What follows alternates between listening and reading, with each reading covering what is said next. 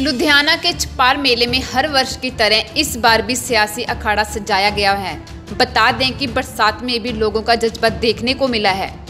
कांग्रेस की ओर से सजाए गए स्टेज पर सीनियर लीडरशिप मौजूद रही। इस दौरान मंत्री साधु सिंह धर्मशोर ने कहा है कि 7 अक्टूबर को होने जा रही रैली हर व्यक्ति को रैली करने का अधिकार है। वहीं उन्होंने कहा है कि जहाँ तक सवाल है बादल की गिरफ्तारी की, बादल गिरफ्तारी बात कर रहे हैं तो इंतज़ार करें। साबुत के लिए साथ अंदर किए जाएंगे ताकि बाहर ना निकल सके ਦੇਖੋ ਹਰ ਪੋਲੀਟੀਕਲ ਪਾਰਟੀ ਨੂੰ ਰੈਲੀ ਕਰਨ ਦਾ ਹੱਕ ਹੈ ਪਰ ਮੈਨੂੰ ਇਹ ਪਤਾ ਨਹੀਂ ਲੱਗਦਾ ਸਖਾ ਸੁਖਵੀਰ ਸਿੰਘ ਬਾਦਲ ਦੀ ਆਕੜ ਦੇ ਹੰਕਾਰ ਜਿਵੇਂ ਕਹਿੰਦੇ ਰੱਸੀ ਜਲ ਜਾਂਦੀ ਹੈ ਵੱਟ ਨਹੀਂ ਜਾਂਦਾ ਪੰਜਾਬ ਦੇ ਲੋਕਾਂ ਨੇ ਪਹਿਲਾਂ ਉਹਨਾਂ ਨੂੰ ਤੀਜੇ ਨੰਬਰ ਤੇ ਲਾ ਕੇ ਉਹਦਾ ਹੰਕਾਰ ਤੋੜਿਆ ਫਿਰ ਆਪਣੀਆਂ ਕਾਰਪੋਰੇਸ਼ਨਾਂ ਦੇ ਚਿੱਤ ਕੀਤੇ ਫਿਰ ਜਿੰਨੀਆਂ ਉਪ ਚੋਣਾਂ ਹੋਈਆਂ ਨੇ ਪਾਰਲੀਮੈਂਟ ਤੇ ਸ਼ਾਹਕੋਟ, ਉਹ ਚ ਉਹਨਾਂ ਨੂੰ ਜ਼ਮਾਨਤ ਜ਼ਬਤ ਹੋਣ ਵਾਲਾ ਕੰਮ ਹੋਇਆ ਹੁਣ ਜਿਹੜਾ ਪੰਜਾਬ ਦੇ ਵਿੱਚ ਉਹਨਾਂ ਨੂੰ ਜ਼ੀਰੋ ਤੇ ਕਰਤਾ, ਅਜੇ ਵੀ ਉਹਨਾਂ ਦੀ ਆਕੜ ਹੈ ਔਰ ਪਤਾ ਲੱਗ ਜਾਏਗਾ 7 ਤਰੀਕ ਨੂੰ ਮੈਂ ਚੈਲੰਜ ਕਰਦਾ, ਸੁਖਬੀਰ ਸਿੰਘ ਬਾਦਲ ਤੋਂ ਪੰਜਾਬ ਇਕੱਠਾ ਕਰ ਲੈ,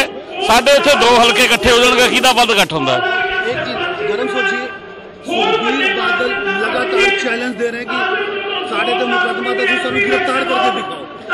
ਗੱਲ ਇਹ ਹੈ ਇੰਨੀ ਛੇਤੀ ਨਹੀਂ ਕਰਦੇ ਸੁਖਬੀਰ ਬਾਦਲ ਜੀ ਵੇਟ ਕਰੋ ਪੱਕੇ ਸਬੂਤਾਂ ਨਾਲ ਤਕੜੇ ਹੋ ਕੇ ਕਰਾਂਗੇ ਮੁੜ ਕੇ ਨਿਕਲ ਨਾ ਸਕੇ ਐਉਂ ਨਹੀਂ ਕਿ ਹੁਣੇ ਜਾ ਕੇ ਤੂੰ ਜ਼ਮਾਨਤ ਕਰਾ ਲੈ वहीं दूसरी तरफ लुधियाना के सांसदीय रवनीत सिंह बिट्टू ने छपार मेले की मुबारकबाद देते हुए अकाली दल पर खूब बरसे ਅਸੀਂ ਚਾਹੁੰਦੇ ਸੀ ਇਹੋ ਜੀ ਕੋਈ ਗੱਲਾਂ ਨਾ ਹੋਣ, ਪਰ ਅਕਾਲੀ ਦਲ ਵਾਲੇ ਹਟ ਨਹੀਂ ਰਹੇ।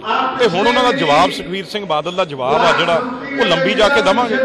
ਦੱਸਾਂਗੇ ਵੀ ਕਿਵੇਂ, ਕੀ ਕੀ 10 ਸਾਲ ਚ ਤੁਸੀਂ ਕੀ ਕੀ ਲੁੱਟ ਮਚਾਈ ਹੈ। ਜਦੋਂ ਘਰ ਘਰ ਚ ਜਾ ਕੇ ਦੱਸਾਂਗੇ ਨਾ ਵੀ ਕੀ ਲੁੱਟ ਮਚਾਈ ਆ, ਕਿਵੇਂ ਲੋਕਾਂ ਨੂੰ ਲੁੱਟਿਆ, ਕਿਵੇਂ ਤੁਸੀਂ ਬੇਅਦਬੀ ਕੀਤੀ ਆ ਗੁਰੂ ਗ੍ਰੰਥ ਸਾਹਿਬ ਦੇ ਨਾਲ, ਉਹ ਸਾਰੇ ਪਾਠ ਜਿਹੜੇ ਆ, ਉਹ 7 ਤਰੀਕ ਨੂੰ ਖੋਲਾਂਗੇ ਜਾ ਕੇ ਉੱਥੇ।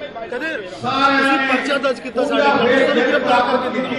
ਬਾਦਲ ਦੇ ਬਿਆਨ ਅਤੇ ਉਹ ਕਾਨੂੰਨ ਦਾ ਕੰਮ ਆ। ਇੰਨਾ ਚਾਏ ਅੰਦਰ ਹੁਣ ਤਾਂ ਬੇਅਦਬੀ ਵਾਲੇ ਮਾਮਲੇ 'ਚ ਕਰਾਂਗੇ ਅੰਦਰ। ਕਾਲੇ ਨਾ ਪਾਓ। ਕਾਨੂੰਨ ਅਸੀਂ ਕੋਈ ਵੈਂਡੇਟਾ ਨਹੀਂ ਕਰਦੇ। ਕਾਨੂੰਨ ਨੇ ਕੰਮ ਕਰਨਾ ਜੇ ਕੋਈ ਬੰਦਾ ਕਹਿ ਰਿਹਾ ਵੀਡੀਓ ਵੀਡੀਓ ਤੁਹਾਡੇ ਮੂਹਰੇ ਆ ਵੀ ਉਹ ਕੁੱਟਮਾਰ ਕਰ ਰਹੇ ਆ ਤੇ ਉਹ ਕਾਨੂੰਨ ਕੰਮ ਕਰੇਗਾ ਜੀ ਇੰਨਾ ਚਾਹ ਅੰਦਰ ਹੋਣ ਦਾ ਅੰਦਰ ਵੀ ਹੋ ਜਾਓਗੇ ਤੁਸੀਂ ਕਾਨੂੰਨ ਤੋਂ ਉੱਤੇ ਤਾਂ ਨਹੀਂ ਕਾਨੂੰਨ ਤਾਂ ਤੁਹਾਡੇ ਲਈ ਵੀ ਇੱਕ ਆਮ ਆਦਮੀ ਨੇ ਇੱਕ ਆ। ਜੇ ਗਲਤ ਕੰਮ 'ਚ ਇੱਕ ਆਮ ਬੰਦਾ ਅੰਦਰ ਜਾ ਸਕਦਾ ਤੁਸੀਂ ਕਿਉਂ ਨਹੀਂ ਜਾ ਸਕਦੇ ਬਈ ਤੁਹਾਨੂੰ ਹੰਕਾਰ ਆ ਕੋਈ अब देखना ये होगा कि 7 अक्टूबर को होने वाली रैली पर किसका रंग जमता है बुलंद टीवी के लिए लुधियाना से पवन सैनी की रिपोर्ट